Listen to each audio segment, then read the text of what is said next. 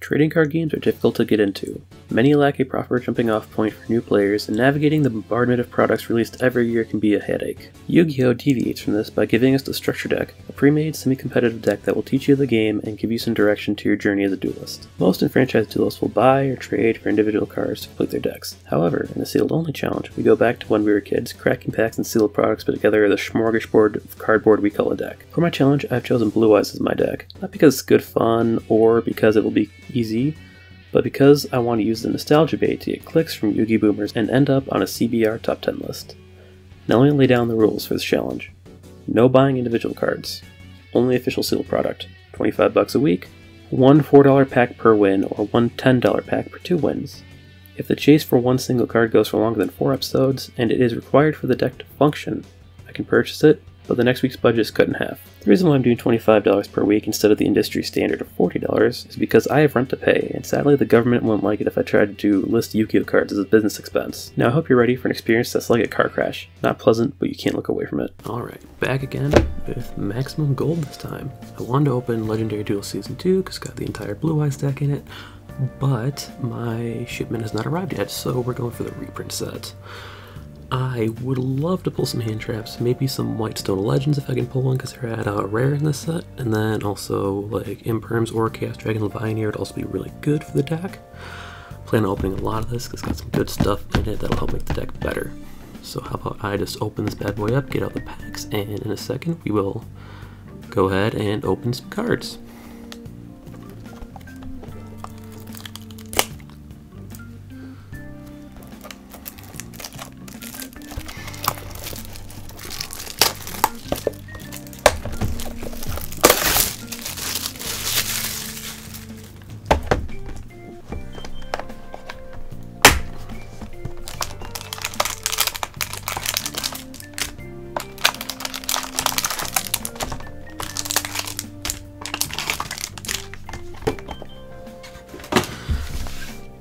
Alright.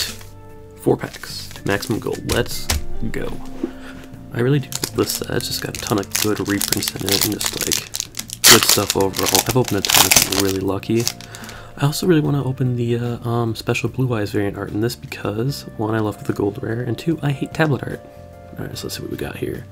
Have Traptrix Dionia, Levianeer, perfect. We need one of these. Totally awesome, beautiful card. Unexpected Dai. We could potentially use this to get our um, Flamvell guards out. Dark Rebellion Xyz Dragon. Oh, look how nice that looks. Also, this is probably my favorite of the uh, Arc V dragons because it's got a rad name.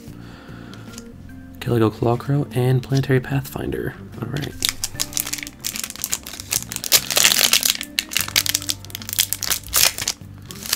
So we got Dark Lord Ixkila.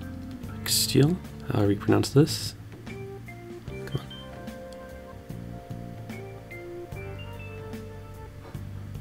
Wow, my camera really does not like this card. There it goes. Dark Lord Ichkill.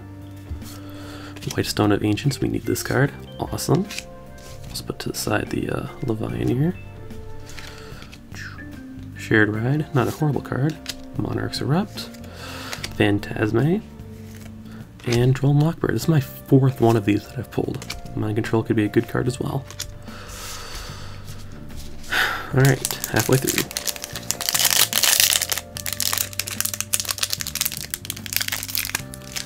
Ugh, I hate, sometimes these packs are just kind of hard to open. Alright, Buster Blader, the Destruction Swordsman. Come on, focus, you know you wanna. Come on, you got this bad, baby.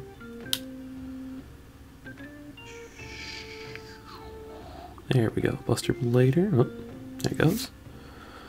Pelionor, no need for you. Another Levianeer. Nice. I think we got both arts now? No, same art. Temple of Six. Another Dark Rebellion. That's the exact same as the first pack. Like a Phantom Skullwing and Sacred Sword of the Seven Stars. Alright. Last pack.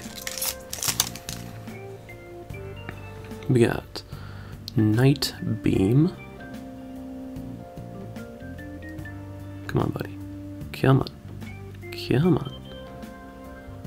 Come on. I'd really like to get another Whitestone Legends in this pack if possible. Beatrice, nice BA support. Domain. Fish. Ooh, Red Eyes. And Phantom Beast and Optimus Prime. Alright, so we actually got some decent stuff out of this. Better than what I was expecting, to be honest. So out of what we pulled, this is actually my third Red Eyes too, which is kind of funny. We can use the Chaos Dragon Levianeers, the White Stone, probably the Mind Control, and the Hand Traps. So I'll meet you back on EDO Pro where we will go over the deck breakdown. Alright, so there's a couple changes to the deck profile. I took out all of our Heretic Dragons just because it didn't really mesh well with the way this deck played. Like, yeah, it was a free special summon, but outside of that, it didn't really do much. I contribute to get Blue Eyes, but like, then what? I just have a 0 attack level 8. So instead I put in the two Chaos Dragon Levianeers. It'll be dead, but we are pretty good at getting dragons to our graveyard with our cards of consonance, our trade-ins, and our dragon shrines. So we'll just make sure that we have four monsters in our bin so we can get something out for its uh, second effect, which is just banishing all light monsters, special summoning a card from my graveyard. Next, we're adding in a White Stone of Ancients. This card's really good. When it is in your graveyard during the end phase, I can special summon a Blue Eyes from my deck. Very good. And yeah, just getting a free Blue Eyes, that was nice. Then on the sideboard, we took out one of our Stamping Destructions to replace it with a Night Beam. It is destroying a set spell a trap card that cannot be activated in response. It's far less um, conditional in this, so it'll be maybe more useful. Add in a Droll and Lockbird instead of a Swords of Revealing Light, because Hand Trap, Phantazmay instead of a Swords of Revealing Light. It's probably going to stay in the sideboard just because, like, um, it's just not as good as it used to be. And finally, we also added in a Shared Ride in the sideboard because it's kind of like a bad maxi. Um, if we could go against a deck where it'd be good, it might be good. But yeah, that's the deck profile. Alright, so after last week, we're feeling really good. We won a game, we did really well against Live Twin, and we even, like, held our own a little bit against Shaddoll, even though I didn't show it. So yeah, I'm feeling good. I think we're to be able to do well today, especially with the upgrades we made to our deck. We got an egg, we got a couple extra things to make our deck just flow a little better, so I'm looking forward to this. So, time for RPS, and if you look at it, we win, so we get to go first. So, things are looking good. And then we get to our opening hand.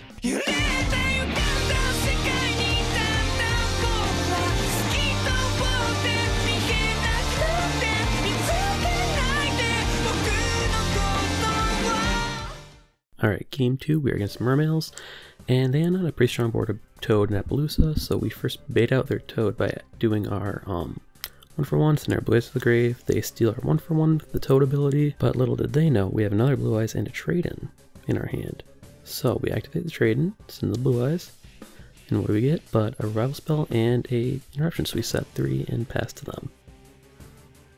Then on their turn, we act they activate their one for one response. We activate a revival spell, which they promptly are going to steal with their toad. And then we activate our other revival spell, bringing back our other blue eyes. We used the specific one first, so that way they wouldn't be able to use it against us. And after that, they just kind of go through full combo and kill us. Game 2 is more or less the same, they just kind of kill us. Final game, we're going first against Live Twin. So we have a pretty decent hand, but it doesn't really amount to much after they ash us, so we're only able to set 2 and pass. He has just an egg and a set spell that doesn't do anything. They end their turn on a trap card and their link monster. Our turn we flip up the egg and we go straight to the battle phase after they activate their monster effect. Because we want to get that uh, blue eyes on our hand so we can send off the trade-in. trade-in. So we attack in, our egg dies, get a blue eyes, activate trade-in. And what do we get when we activate trade-in? Well, wouldn't you know it, we get another blue eyes and another trade-in. So we do the same thing again. Revival spell and some interruption, which is nice. We're gonna bring back our blue eyes, set down our revival spell, and we're gonna make a misplay of setting our tutor instead of doing anything. So what they're gonna do is they're gonna steal blue eyes and swap it with their monster. And again, just kind of on the wall. They have a big board, and they're just able to destroy us. So we just say no, thank you. Especially after they uh, do that. And then game two is more or less the same. We end up on just an egg, and they have just a full board, and they out us again. So yeah. Alright, where we can go from here? Well, luckily, my box of Legendary Duel Season 2 came in, so we can start getting the staples for the deck, getting our sages, our alternatives, maybe uh, more eggs, and maybe uh, Dragon Spirit of White would be nice, as well as the rest of the extra deck, so it's got like Galaxy, Xyz monsters, as well as the Synchro monsters we need. So that's gonna be the main thing. We're also gonna want to get more staples, so we'll be more maximum gold and maybe Duel Devastator someday. Because we're just really doing poorly against other people. We can't make a board and we can't out other people's boards. But I do have confidence in us that someday we will make a competent deck. I'd just like to thank you all again for watching, and I hope that you'll like and subscribe.